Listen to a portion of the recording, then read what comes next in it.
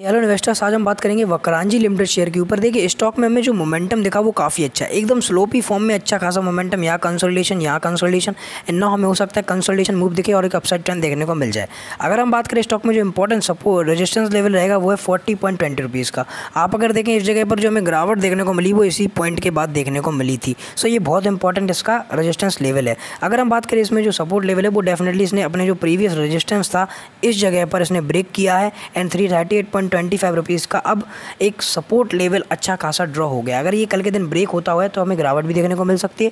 But जिसमें momentum बना हुआ है, जिस तरीके का एट पॉइंट परसेंट की बढ़त देखने को मिली है सो कहीं ना कहीं स्टॉक में मोमेंटम अच्छा खासा ही होना चाहिए और फोर्टी के लेवल्स को ब्रेक करना चाहिए स्टॉक को। सो आप स्टॉप लॉस लगा सकते हैं थर्टी एट का टारगेट रखिए फोर्टी से लेके फोर्टी थ्री के। और अगर ये ब्रेक होता है तो इसको अच्छा खासा मोमेंटम भी इन द अपसाइड देखने को मिल जाएगा आपको in the upcoming trend so अगर वीडियो पसंद है तो लाइक करें it is an informative purpose video and धन्यवाद।